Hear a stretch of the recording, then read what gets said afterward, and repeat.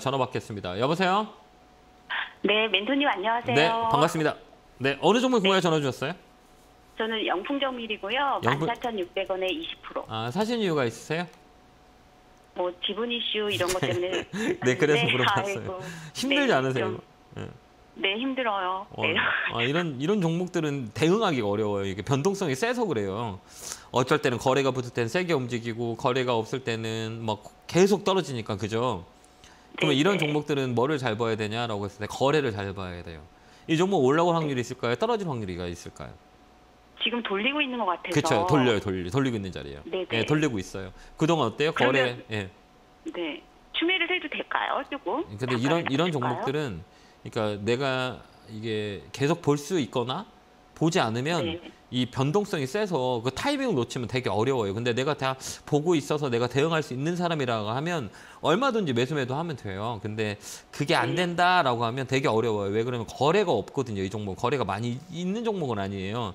이렇게 거래가 튈 때 우리가 잘 팔 수 있는 거지 그러지 않을 때는 거래가 거의 없어서 매매하기가 되게 어려운 종목이에요. 그래서 이런 종목은 네. 유동성에 빠져요. 갑자기 올랐다 갑자기 네. 쭉 내려오고 막 이러거든요. 그러니까 제가 볼 때는 이 종목을 내가 대응할 수 있으면 좀 더 사가지고 나오는 게 빠를 수도 있어요. 근데 내가 그게 안 어, 된다 저- 그러면 그거 안 하는 게 네. 나아요. 예. 그건 아, 우리? 시청자님 목이거든요. 그러니까 이거는 네. 어느 사람은 잘 대응할 수 있고 어느 사람은 대응을 못 할 수 있고 하잖아요. 그러니까 네, 대응의 영역이기 때문에 이런 종목들은 어, 내가 조금 더 대응할 수 있다 그러면 더 사가지고 단가 낮아서 빨리 나오면 돼요. 거래가 조만간에 붙을 거거든요. 언제가 아, 하냐라고 네. 했을 때는 이 캔들하고 거래를 보거든요. 이 거래가 아직 안 들어왔어요. 그러니까 물량이 네. 없이 땡기는 자리이기 때문에 거래가 전일 거래량부터 100일 100%튄 날 있잖아요. 장중에 지금. 거래가 좀 들어왔거든요. 어제보다 거래가 조금 더 많거든요.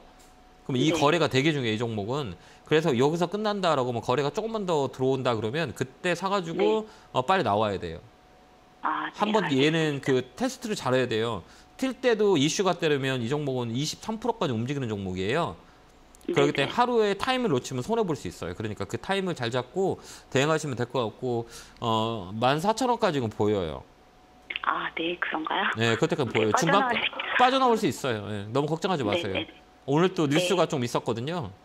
네. 오늘 newspaper 보시면 어, 영풍하고 고려아연 쪽하고 또 얘기가 있을 거야. 뭐 뉴스 한번 잘 찾아보세요.